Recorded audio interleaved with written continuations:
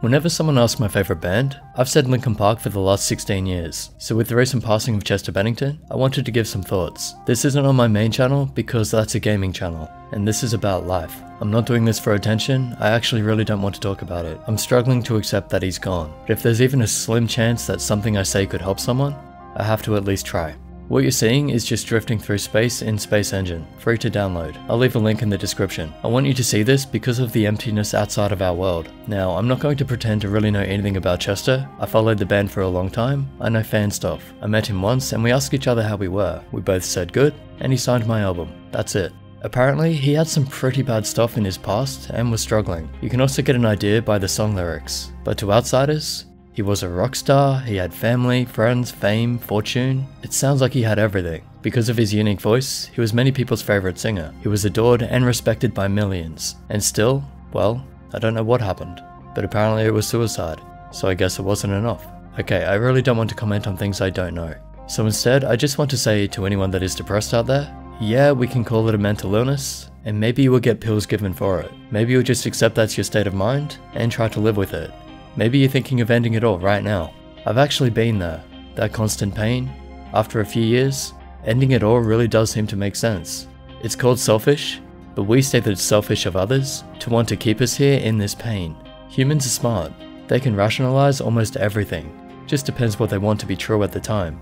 But instead of thinking of the pain and how meaningless and terrible life can be, I want to offer you my current perspective. You could have it all and you could still be depressed. Happiness is a fleeting state. It's something a lot of us need to build each day, and that's okay. We can use that as motivation to achieve. It's when we don't have achievements and get lost in our own negativity, and we cross that line into depression, that's when things become dangerous. That's when we need safeguards, defensive mechanisms. We need things in place to keep us from giving up. Think of it like this. No matter your beliefs, I'm sure you can agree there are thousands of generations before you. Your mother or father, their mother or father, their parents, and so on. Every single one of those people had to have children for you to be here. That means they all fought through life long enough to continue the family line. They fought through hunger, disease, war, natural disasters. They fought for their survival, for the survival of their genes. They fought for your existence. The amount of times I've heard stories, even just during war, where a parent would go without food just so their kids can eat. It's incredible. It's beautiful but also heartbreaking. I don't know if you know what it's like to go without food but the love these parents showed for their children is extremely strong. They would risk their own lives just to save them. No matter how many times they yelled at their kids, a lot of parents think like that. So if you're a child watching this, you'll understand it one day, but know that they do love you. So you are not just one person, you are the combined efforts of thousands, thousands of generations all fighting and building just so you can exist. Your body is incredible. The fact that you can fight off disease and so many things that try to kill you every day you could die so easily, but you don't. You're amazing. No matter what you think of yourself compared to other people or even animals, you're amazing. You've earned your right to exist because of your ancestors. And now you carry on that fight. I don't know about you, but when I think about all the hardships my ancestors went through, there's no way I could stand in front of them and say, my problems are worth throwing all your hard work away. I've known people who've wanted to kill themselves because someone they loved didn't love them back.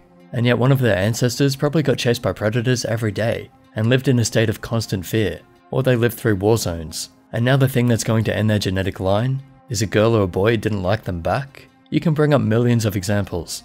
Lost a job, struggling to get money, someone close was in an accident, have bad teeth, people say you're ugly, whatever. Yeah, life sucks. Or it can get really bad out there. But that's because our expectations are so ridiculously high. We're always judging ourselves and our lives by expectations. Seriously, we're lucky to have anything. We're lucky to have eyes, ears, a face, arms, legs, you name it. Ask anyone who has lost one or many of those things. Many desperately just want them back, and yet people out there are walking around like these things don't matter. Or just because someone insulted them means that they can't enjoy themselves anymore, that they can't appreciate their bodies and everything that they are. They're killing themselves, throwing away very good functioning bodies because their brains have decided whatever problems they have, or whatever they're feeling, makes all of that worthless. I'm not saying that mental problems don't matter, they do. What I'm saying is, don't let the mental problems make the physical body not matter. Don't let them destroy something so beautiful. And it doesn't matter if it's not in perfect working condition. It's amazing it even exists. It's amazing it hasn't been destroyed already. It's strong. And so are you. Even if you don't feel it, you are very strong. We all are. It's a matter of perspective. I don't want to get into the religious beliefs, so just bear with me on this. Let's just say evolution is right, and we all evolved from a single-celled organism. We essentially won the evolutionary race. You probably don't even need to worry about being food for an animal. Ever watched an animal constantly looking up because of fear of an eagle or a hawk? That's a scary life to live. Really, we're quite safe. We're quite lucky. Another perspective? You have trillions of cells in you. Every cell does its job. Your muscles move, your lungs take in air, your eyes see, your ears hear, you can taste and smell, you can talk, you can think. All these cells do their job. So you can be you, so you can live. But what's your job as the mind? What if it's your job to take care of all those cells? That means every time you think of giving up, ask where you failed in your job, because you should be doing absolutely everything to take care of your cells. Your body is amazing. Even with the problems, it's amazing. It's doing its best to help you. Why does it deserve to be thrown away? Listen, this is a big topic, one I'll cover more someday if people want me to. But can you at least see how you can set up a defensive mindset to help protect you from yourself? Every time I even think the word suicide, I think about all my body has done for me and how my ancestors fought for me to be here, and how no matter what I'm struggling with, it's not worth throwing all that away. Feelings come and go, moods come and go, things come and go, but if you throw it all away, you have no chance. You ask for the meaning of life? How about ask the meaning of death? At least in life, you have a chance to give it meaning. In death, there's nothing, no meaning. Again, I don't want to get into the religious side of things. I know it hurts to think we can end. But until we can prove beyond all doubt that there is an afterlife, can you please at least try to make the most of this life you have now? No matter what state it's in, at least try. Even if it means switching off to your emotions and just doing what you can. Just try.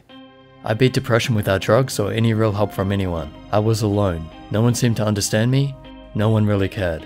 And even if they did, they had no idea what to say.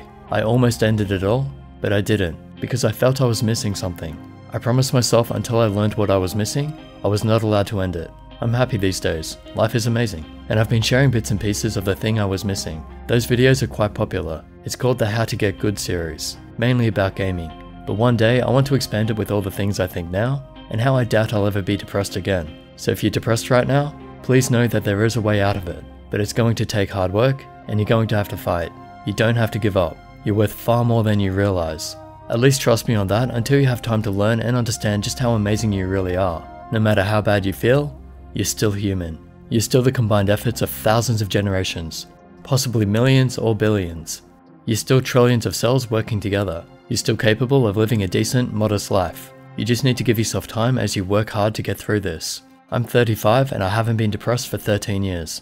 I found a way out. I hope you can too. On a personal note about Chester, there has never been and may never be another voice that can get to me like his did. I held back tears by living in denial. Now that I'm doing this video, it's hard to live in that denial anymore. And I'm no one, really. I can't imagine what his family and friends, his band, anyone who knew him, I can't imagine what they would be feeling right now. At least his children will live on. So even though he's gone, he continues on through them. So he's not really gone. And I wish them all the best. To anyone watching this, Chester was amazing even if he didn't have the voice that he did. And so are you. Take care of yourselves, and don't stop fighting for your survival. Good luck.